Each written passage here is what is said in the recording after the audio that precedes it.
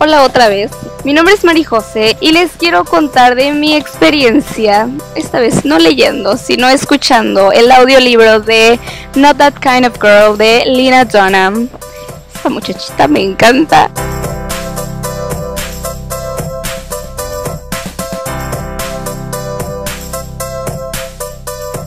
Me obsesioné con ella desde que vi su serie de Girls, que ¿saben qué cosa tan padre es encontrar gente tan genial que es amiga de Taylor Swift? He encontrado cosas que me gustan mucho solo porque investigo a los amigos de Taylor Swift. Este es el caso y oh my mi audiolibro, si ve, si se ve. Por ejemplo, y saben padre porque ella fue, o sea, es su voz.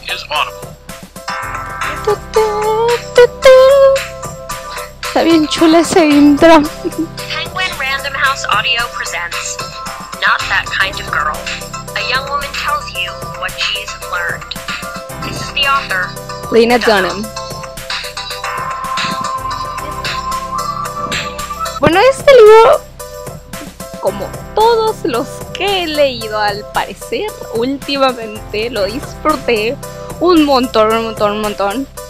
Este me acompañaba en los camiones y en mi ida a la escuela y me quería reír.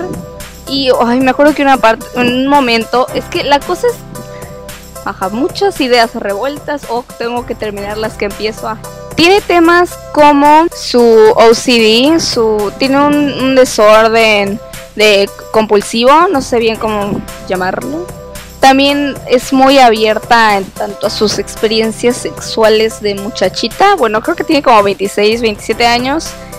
Eso me gustó bastante. O sea, ella es muy feminista, muy genial, muy divertida. También habla de que de sus problemas, sus obsesiones, sus inseguridades, pero también te hace sentir fuerte, te inspiran. Lo escuché tanto tiempo que una cosa muy chistosa para mí es que ella tiene como que una tonadita de voz y yo, o sea, a veces pienso en inglés, ¿no? X. Entonces a veces como pensaba en inglés me salía su tonadita.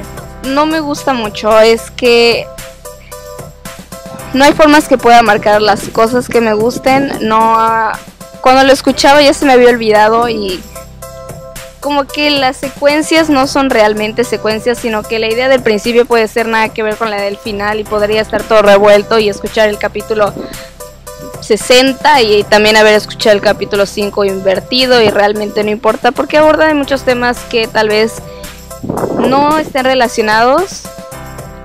Sí, es sí, muchas cosas ya se me olvidaron. Habla mucho de su familia, de sus novios, de sus romances. Ay, disfrutaba mucho de sus experiencias sexuales, algunas bastante incómodas, que me daban mucha risa. Y también vivencias muy lindas. Me encantó que de algún momento mencionara a mi Taylor. Y ya. Este igual le podría dar 4 de 5 estrellas. Si no conocen a Lina, su serie Girls está muy padre, bastante genial.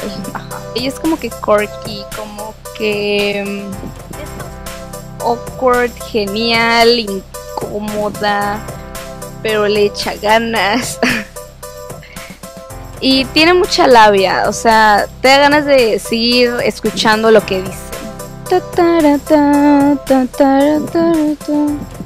Les voy a dejar como que unos videitos de cuando hace promoción de esto, porque también tienen esa tonadita que se te pega y tiene como 11 videos donde hace preguntas y respuestas como de consejos y ella es genial, muy divertida, muy bella, muy... la adoro.